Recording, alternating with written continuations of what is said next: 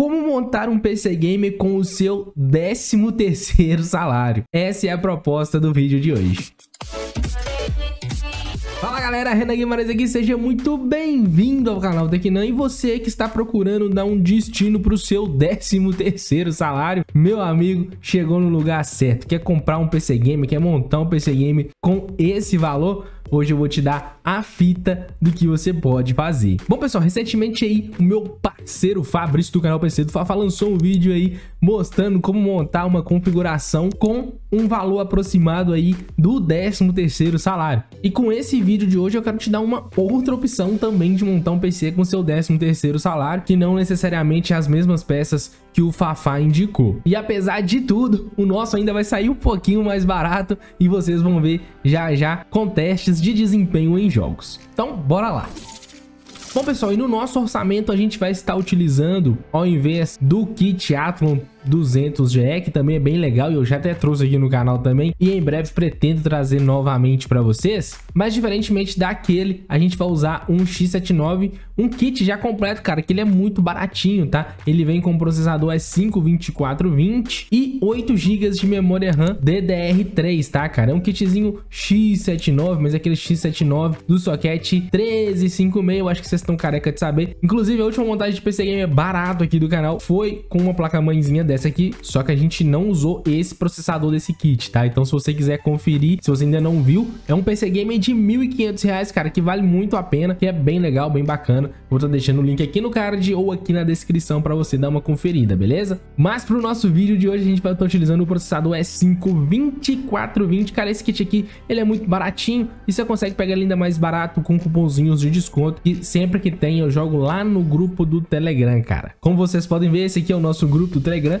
e lá eu tô sempre mandando ofertinhas e várias coisas. Já estamos com quase 4 mil pessoas. Quem sabe você seja o número 4 mil aí, cara. Vamos lá, vamos participar para você sempre ficar por dentro das promoções. Vale muito a pena. Pessoal, o nosso S5 2420 é um processador que precisa de um cooler para ser resfriado, né? Como, como, como, todo processador precisa. Só que no nosso kit não vem o coolerzinho, né? Então a gente precisa comprar a parte. Mandei essa ofertinha hoje lá no grupo do Telegram, inclusive, cara. E ela tá saindo, ó, a R$25,90, cara. Esse cooler aqui é muito daorinha, muito bonzinho. Olha, já tem dois heat pipes, tá, cara? E é da marca Rise Mode, ele é universal e ele vai servir pro nosso kit Zion também, tá, cara? Ele tá saindo num valor muito prático de R$25,90 na Kabum, cara. Que valor legal, sério mesmo, cara. O valorzinho dele tá muito legal. Uh, e a promoção, cara, não sei até quanto que vai estar tá, não, então se você estiver vendo este vídeo aí e por, e por um acaso não tiver nesse valor, eu vou estar deixando outras opções aí para vocês no link que vai estar tá aqui na descrição de todas as peças, como eu sempre deixo para vocês, beleza? Bom, pessoal, a gente vai precisar também de um armazenamento, o armazenamento que eu escolhi aqui é um SSD, né, cara? Sempre eu vou escolher um SSD para ser o armazenamento principal. Armazenamento secundário, dados, arquivos, todas as coisas, aí sim pode ser um HD, e aí eu indico uns bacaninhas lá para vocês no grupo do Telegram também, beleza? E o nosso SSD escolhido aqui é um da X-Ray Disk, muito bom por sinal, 120 GB, tá, cara? 93 e 35 é o valor dele hoje aqui em promoção e tem cupomzinho de desconto, se não me engano, para bônus de novos usuários, então sairia aqui até mais barato se você quiser dar uma conferidinha lá. Eu sei que o cupom de novos usuários tá funcionando. Pessoal, chegou aqui num dilema aqui desse vídeo aqui que eu tive que quebrar um pouquinho a cabeça, tá? Que é em questão da fonte de alimentação. Galerinha, a fonte de alimentação, uh, vocês vão entender mais pra frente por que, que eu queria indicar esta aqui, mas não vou indicar. Queria muito indicar essa fonte aqui porque ela é boa e barata. É uma fonte da Seasonic, ela custa baratinho, cara, 150 reais, 300 watts e ela tem o selinho 80 Plus Gold. Cara, a única diferença dessa fonte aqui é que ela é pequenininha, tá? Ela é uma fonte de, de aquelas mini, tá? SFX. Então, é, você precisa fazer uma adaptação no gabinete, que é bem tranquilo também. Já mostrei isso em vídeo aqui no canal há algum tempinho atrás. Muito tranquilo fazer isso. Não é nenhum empecilho para montar um PC barato. E ela é de 300 watts reais e marca boa. Sonic é marca que além de fabricar fontes, ela fabrica fontes para outras marcas e até conhecidas aí, tá, cara? Marcas boas. Só que a gente tem um pequeno probleminha, cara. Eu já vou falar de cara para vocês, que é a nossa placa de vídeo. A placa de vídeo que eu vou montar com esse PC Gamer aqui do 13 terceiro salário é uma GTX 550 Ti. Meu amigo, a GTX 550 Ti tem um detalhe. Ela precisa de um conector extra de energia, tá vendo? Ela precisa de um conectorzinho extra de energia. Talvez até daria conta de tancar essa nossa configuração. Porém, esse conector extra de energia aqui vai nos ferrar porque a nossa pequena fontezinha aqui não tem esse conector extra de energia, cara. Já que eu comecei a falar da placa de vídeo, vamos terminar de falar da placa de vídeo. GTX 550 Ti, cara, ela tá saindo com um precinho razoável, 321 reais, diferentemente do kit do Aclon, que já tem um vídeo integrado, que é uma Vega 3. Aqui a gente precisa obrigatoriamente de uma placa de vídeo, por quê? Porque o kit Xeon não tem vídeo integrado, tá? Nada, nada, nada. É obrigatório ter uma placa de vídeo. Eu queria poder fazer um PC aqui para dar certinho mesmo valor, eu queria colocar uh, uma placa de vídeo do OLX, mas o OLX é um garimpo aqui, outra ali, serve mais para desafio e não vai dar necessariamente para você que tá assistindo o vídeo aí, talvez não vai conseguir montar, porque talvez necessariamente você não vai conseguir achar a peça no OLX. Mas fica esse também parêntese aí para você, né, cara? Se você quiser aí garimpar um pouquinho no OLX e achar uma placa de vídeo dessa num valor uh, que seja parecido com esse aqui, fica à vontade também, cara. Vai, vai ser muito legal também que já vai estar tá aqui no Brasil e nem corre risco de ser taxado. Porque assim, uh, querendo ou não, placa de vídeo e os kitzinhos tem sim aquele risco de ser taxado sim, tá, cara? Mas eu espero que isso não aconteça com ninguém aqui. A gente vai ter que descartar esta fonte aqui, por mais que eu queria indicar ela que ela é muito boa, e vou ter que partir para essa esta outra fonte aqui justamente por causa disso, cara. A gente precisa de uma fonte que tenha o conector extra de energia para a placa de vídeo e que nos forneça uh, acima de 300 watts. E então a gente consegue esta aqui da Fortrack, cara, que ela tem 400 watts e ela tem um 80 Plus White. Se não tivesse um 80 Plus aqui, tá? Vamos dizer assim. Porém, pessoal, ela conta com uma coisa importante, né? Que é o PFC ativo, que eu falo com vocês que é o mais importante de uma fonte é ter PFC ativo. Porque selo 80 Plus para selo 80 Plus, muitos são falsificados, tá? Fica Fica a dica aí também pra você. E a nossa fontezinha aqui da Fortrack já trouxe aqui no canal outras vezes, tá, cara? Pra esse tipo de configuração, não tem nenhum problema você utilizar não, tá, cara? Nenhum problema. Inclusive, eu vou estar deixando umas outras opções de fontes aí para vocês estarem verificando aí. Mas para nossa configuração, PCzinho mais básico de entrada, sem problema, chuchu beleza, tá galera? Dá para usar uma fontezinha dessa sem peso na consciência, 229 reais. Bom galera, então a gente vai usar 550 e eu vou te dar uma outra opção de placa de vídeo que também cairia muito bem nesse nosso orçamento. Aqui é a HD 6750, modelinho 1GB GDDR5, meu amigo. Ela tá custando 386 reais hoje, tem frete grátis, ou seja, você comparando esta aqui, que é 321 mais um frete 45, ou essa aqui que tem uh, 386 286 e o frete grátis, sendo que uma tem um desempenho muito semelhante da outra, fica elas por elas, fica você escolher qual melhor vai te agradar aí. O que eu posso te dizer é que a nossa querida 550 Ti tem até um desempenho um pouquinho superior a HD 6750. Só que essa placa aqui, pessoal, eu não tenho ela para testar aqui não, eu não sei se ela tem conector extra de energia. Pelas fotos aqui, ela não tem. É, pelas fotos que eu tô vendo aqui, ela não tem conector extra de energia. E caso ela realmente não tenha o conector extra de energia, é por isso que eu separei aqui e mostrei para vocês,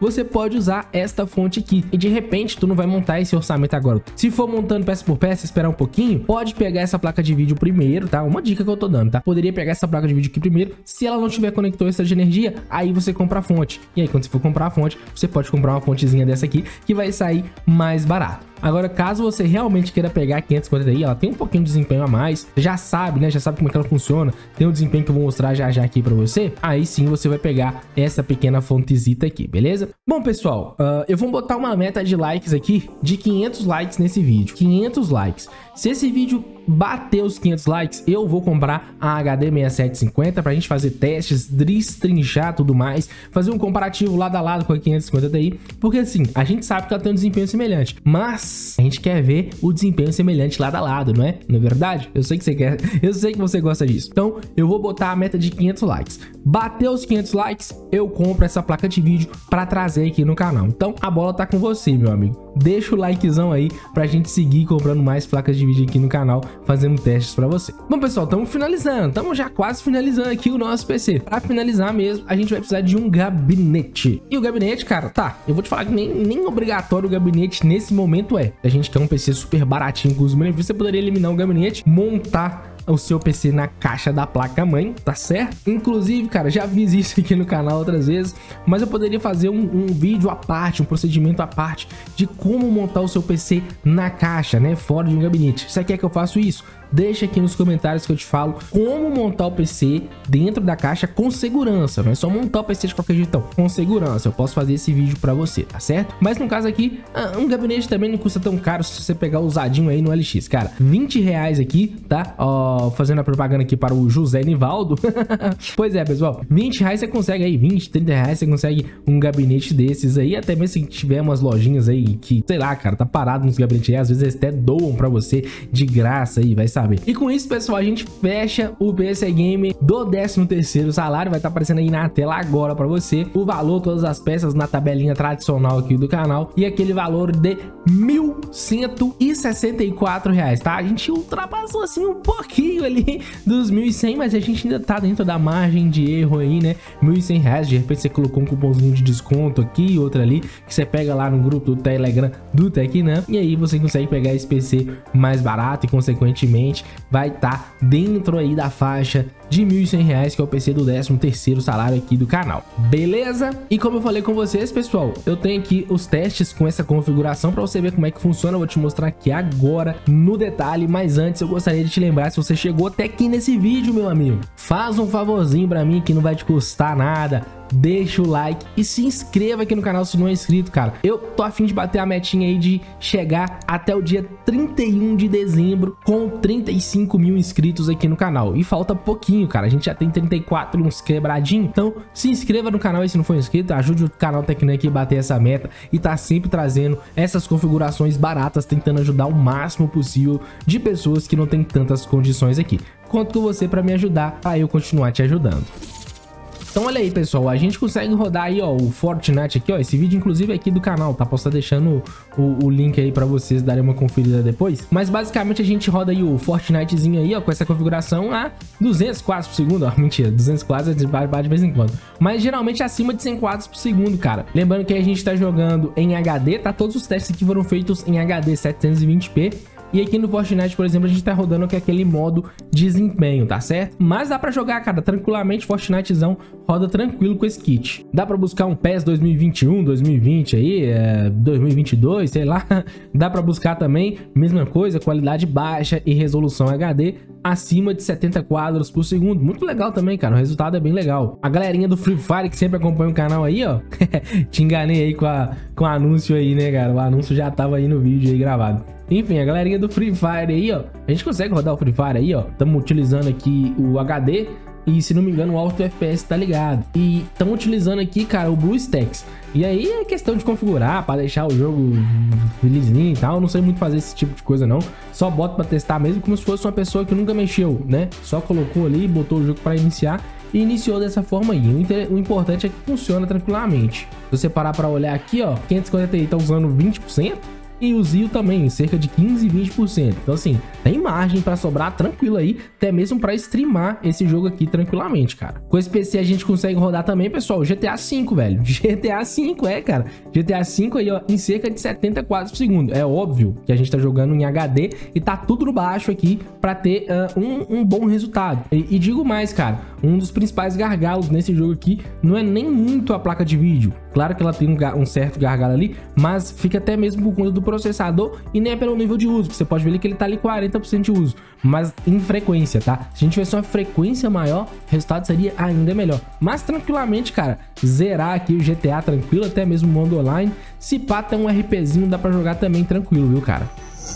Bom, eu vou estar tá deixando o link desse vídeo aqui pra você conferir os testes em jogos. Inclusive, foi um PC de mil reais esse teste em jogos aqui, cara. Se quiser conferir, vou estar tá deixando o link aqui na descrição. E, cara, o PCzinho do 13 terceiro é esse, tá? espero ter te ajudado, espero que você tenha gostado desse conteúdo. Se gostou, deixa o likezão aí pra gente seguir firme e forte. Se inscreva no canal se não for inscrito, beleza? Pessoal, vou ficando por aqui. Um grande abraço e até a próxima, hein? Fui!